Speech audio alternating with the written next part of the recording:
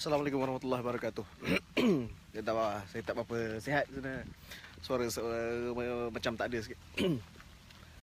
Okey, uh, kali ni uh, kita buat satu lagi site visit uh, di rumah DBI. Okey. Dan saya, saya rasa dia sendiri pun tak tak boleh jumpa tempat ni saya. so, saya dah jumpa dulu dia punya rumah yang seterusnya. Okey. Yang dia kata dia dah beda dan tempat ni pun uh, sama juga cuma ada tapak. Okey, boleh tengok. Okey. So, uh, orang panggil ni apa ni?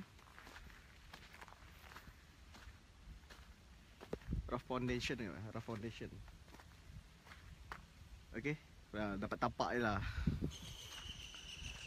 Okey, dia dah buat tapak. So tapak ni dah ditinggalkan pun hampir hampir 4 bulan. Okey. Dah lepas ada tapak uh, tinggalkan. Okey. Dah 4 bulan macam ni. Lepas dia buat tapak tinggal. Okey. So ini uh, di kawasan Sungai Besar. Okey. Ini di kawasan Sungai Besar. Di kampung saya sendiri sebenarnya ni tak ada dekat kampung saya. Uh, dekat dengan kampung saya. Okey. Boleh tengok sendiri.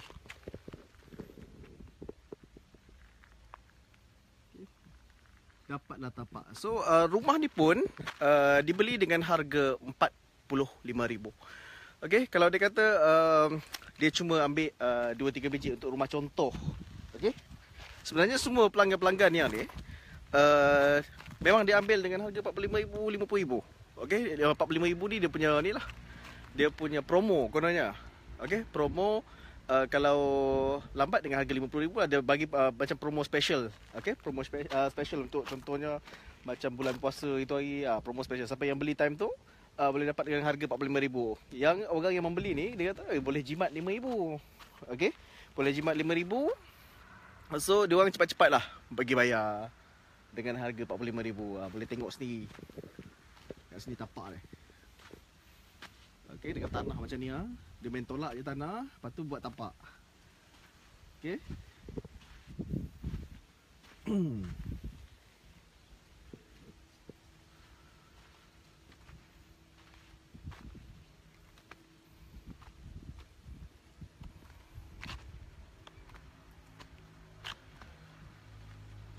Okey, macam uh, ni kan, kaedah pembayaran yang dia orang buat ni, dia orang akan uh, bayar dulu sebelum buat agreement tu.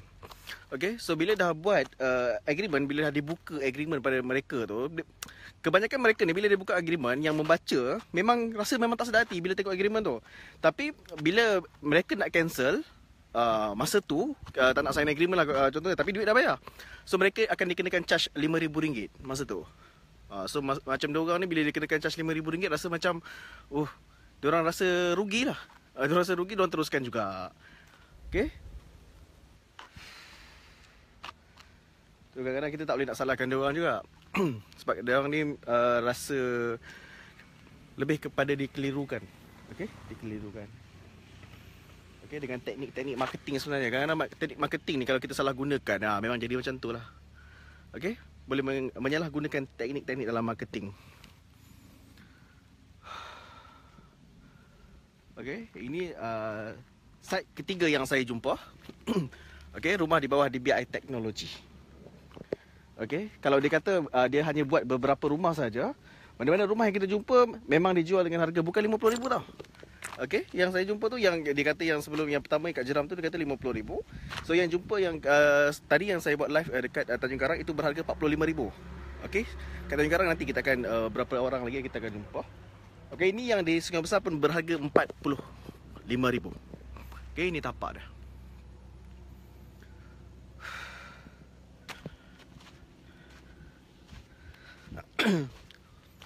Maaf uh, saya punya ni tersumbat sikit. Hidung dah tersumbat memang demam. Demam-demam sikit.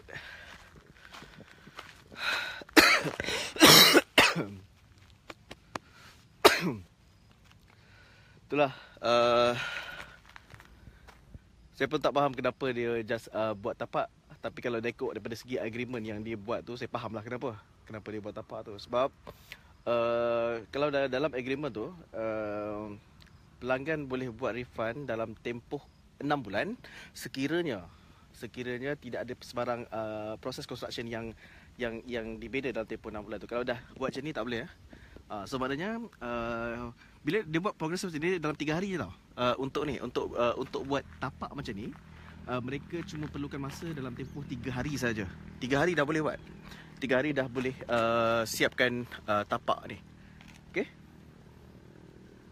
3 hari dah mencukupi. So lepas 3 hari tu dia tinggallah ni. Uh, ni uh, 4 bulan. 4 bulan dah terbengkalai macam tu. So ini antara uh, taktik dan teknik yang uh, kita kena tahu uh, dia orang buat.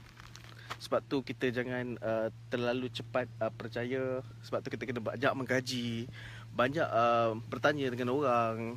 Sebab tu bila hari ni kita tak tak dedahkan benda-benda macam ni, berapa ramai lagi uh, di kalangan kita yang akan terpedaya.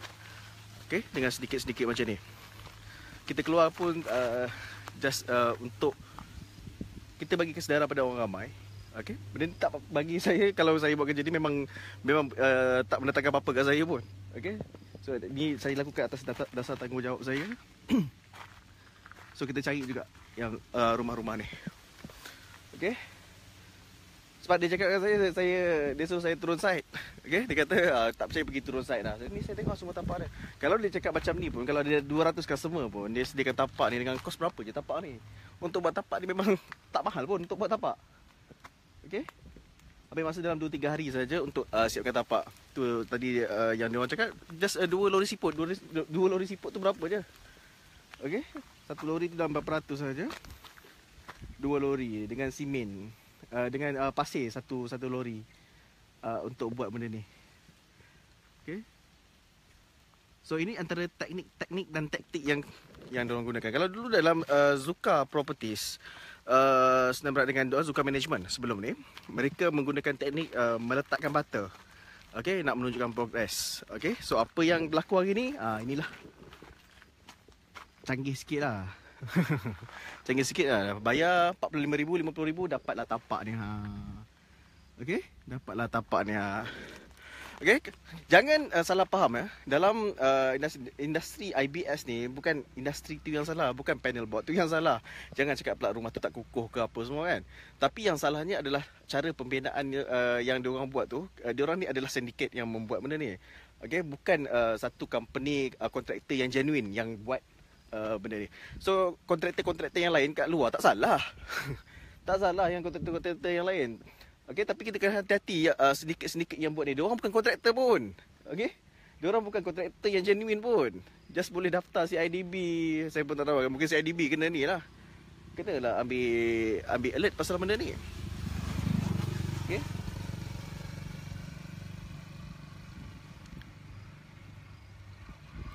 Okay, ni dekat ni, dekat paket 60. Ha, nanti uh, ni minta YB Budiman pergi buat site visit juga ni. nanti minta uh, YB Budiman turun sekali. Pergi tengok uh, ni. Uh. Okay. So kita kena ni lah, kena alert benda ni. Okay, itu saja. So uh, cukuplah untuk hari ni kot. Okay, saya nak rehat dulu. Okay, jumpa lagi insyaAllah. Assalamualaikum warahmatullahi wabarakatuh.